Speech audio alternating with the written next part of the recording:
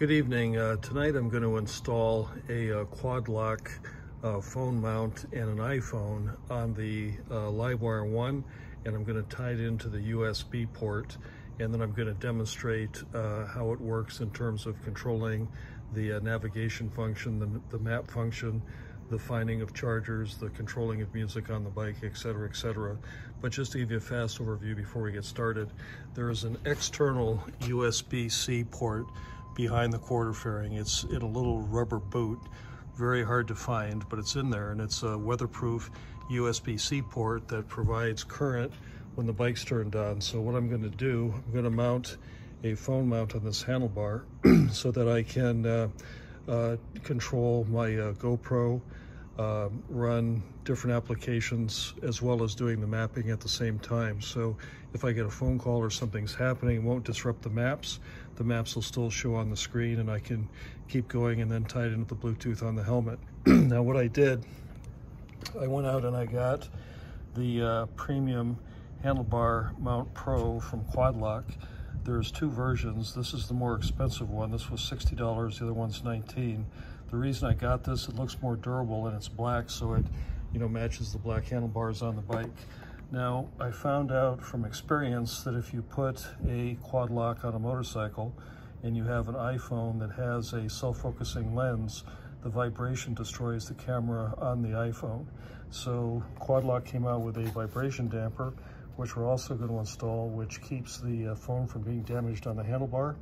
And then lastly, I need a shorter one, but the shortest cable I could find for tonight was a three foot uh, lightning uh, to USB-C. So what's gonna happen, we're gonna have to wrap it around the handlebar a few times, take up the extra length.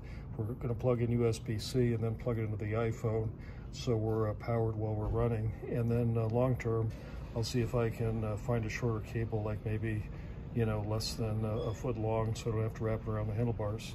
So uh, let's get started uh, with the unboxing. Okay, so first up is the uh, handlebar mount pro. So it says pull the tab, pull the tab. That's probably for warranty or something.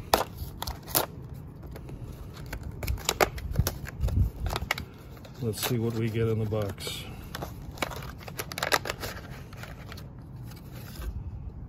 Okay.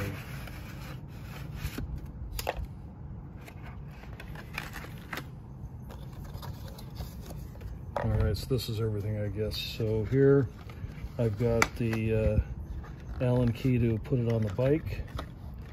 These are uh, things for different size handlebars. Little donuts.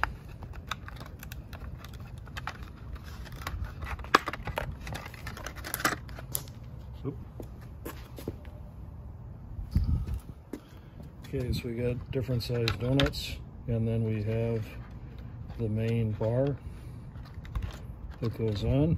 Looks like it's already got one in it.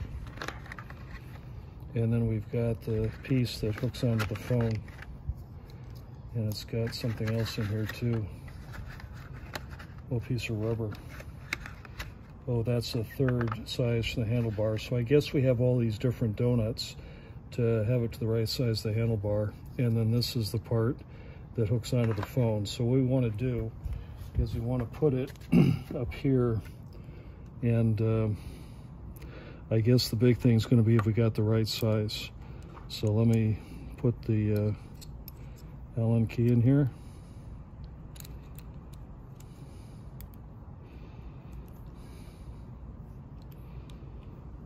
There it is.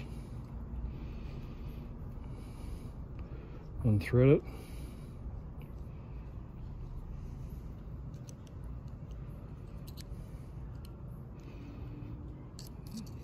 Threads in the bottom part of the bracket.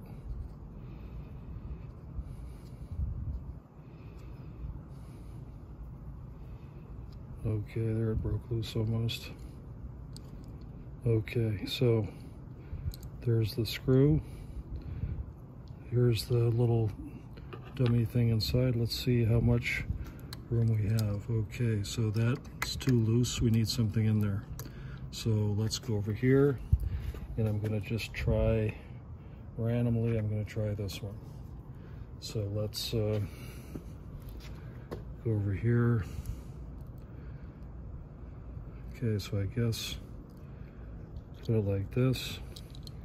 Actually, I'll put this on first. So I got that thing on the handlebar.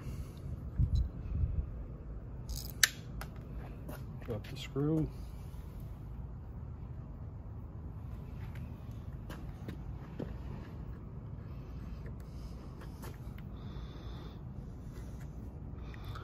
Well, I think that was the right one. That seems like a snug fit.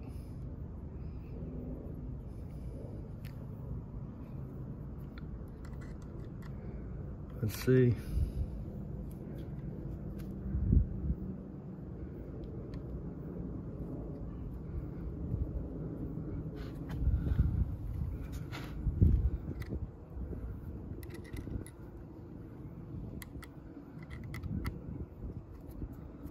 Yeah, it's working.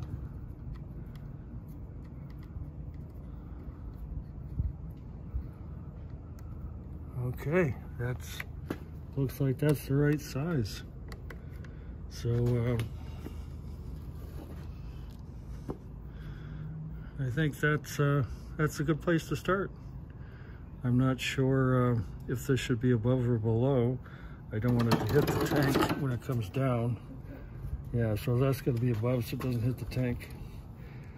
Okay, so I'm going to tighten this down a little snugger.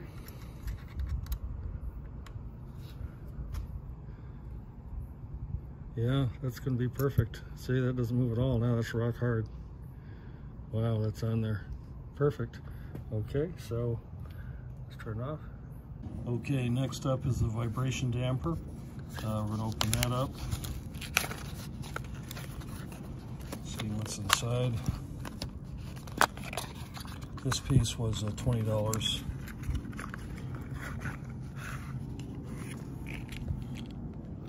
Okay. Oh, that's kind of cool. Don't know how to get it out of there exactly.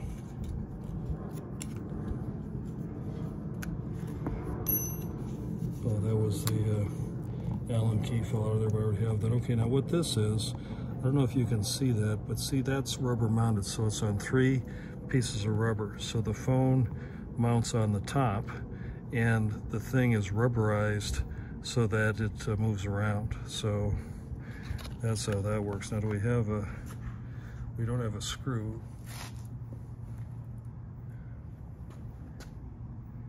Okay, so the way it works is this piece that's got the rubber part that moves, this piece hooks onto it. This is the piece that hooks onto the phone. So we're now going to uh, put these pieces on the bike. First of all, we screw this actually the Allen key fits through the threads on the first one. You can tighten it down on the phone lock. I noticed that each of the threads already has uh, Loctite on it. So there we go. Tighten it down. It doesn't, uh, can't reach it that way. So just gonna try it really hard with my fingers here. Okay, that's good. Now see, this is now movable. You can see that moves. Okay, next up we're going to put on the latch for the phone. Now what happens when you take it off, I'm using my left hand like this.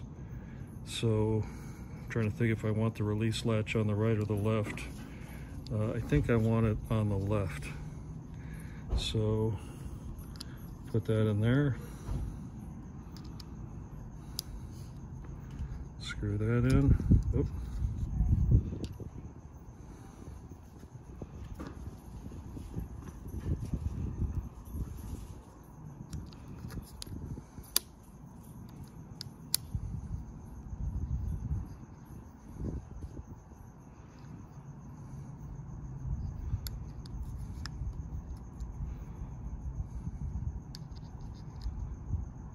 It a little more.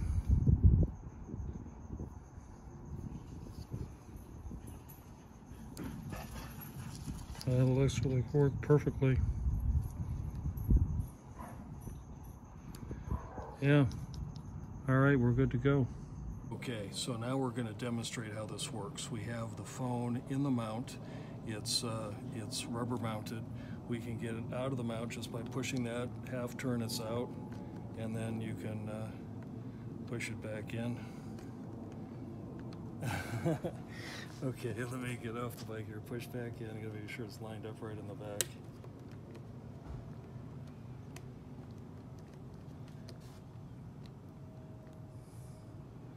Okay, anyway, I guess I'm not, I'll take this off the bottom. Okay, there we go. Now we're locked in. So then I plug in the USB-C on the bottom. And as you can see right now, the bike's off and it's not charging. So now I hop on the bike and I push the power switch on the bike. So you see the bike fires up and right away I'm charging. So as soon as I turn the bike on, as soon as I flick the switch, the thing started charging. So now it's working. and uh, it's also hooked up with Bluetooth now. You see the blue light there? That means the phone is hooked up with the Bluetooth to the bike. So now we're ready to go. So I'm gonna pick it up a little bit. I'm gonna put the side stand up. I'm going to hit the button to start the bike. Okay, so the bike is now on. now I'm gonna demonstrate a bunch of stuff that I've never seen before, but uh, here it goes. I'm gonna run three different apps at the same time. I'm gonna push the Livewire app. Okay, this is AMP. This is the current bike that we're on. So we go down to the bottom and um, okay, if I can figure out how to do this now. I want to go to the map. Okay, so go back. Okay, so I push amp. Okay, here's what I need down here. So I push the map button and there's the maps and it's going to come up with a bike on the map. There we are right there. So now I'm going to tell I want to go somewhere. So I'm going to tell I want to go to Santa Monica. So I push Santa Monica. It highlights Santa Monica. I say, take me there. you can also do this with chargers. So now it's finding the best route. Take it a second. There's the route. So we'll take the one it shows. So I go start. Then it says, let's ride. Okay, now what's happened now is the navigation is running the Livewire navigation app is running on the phone. If I push the handle or the switch on the right handlebar here, I can get to the point where it's showing navigation. So here is the turn-by-turn -turn navigation. So this is actually 34.5 miles. Uh, see, 35 miles, so it's the same thing as turn-by-turn -turn navigation. To East Highland, you're showing East Highland there. Now what I can do is I can close the app and I can go back to other things on the phone. Let's say I want to listen to some music. So I'm going to run that app simultaneously with the navigation. So I push the music app, and if I push the handlebar on the right, on the right here, there's music. so by using the left-hand toggle, I can turn the music on off. So there's Destiny's Child, and I can even turn the volume up and down. So there I've got the volume up, there I'm moving it down, and I can change songs, and I can do it in background. So now I have navigation on the right, I have music on the left.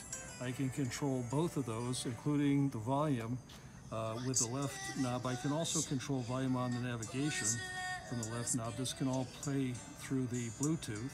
And then while all that's going on, I can run a third app, which in this case, I might want to use the GoPro app. So I can use the GoPro to uh, see what my camera's seeing so I can watch what my camera's seeing as I'm riding to decide which clips I want to take while I'm listening to music and doing navigation. So I mean, this is really crazy. So all this stuff is uh, happening at the same time and it all uh, works perfectly.